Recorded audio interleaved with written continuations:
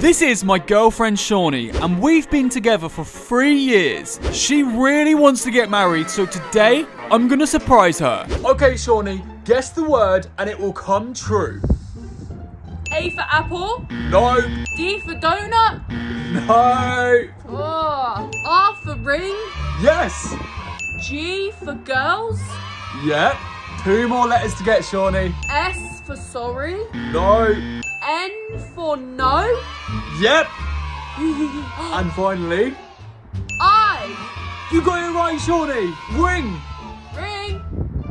ring. Okay, Jake, where's my ring? Will you marry me when I get to 10 million subscribers? No, Jake, that's not fair. I want to marry you now. Marriage is expensive.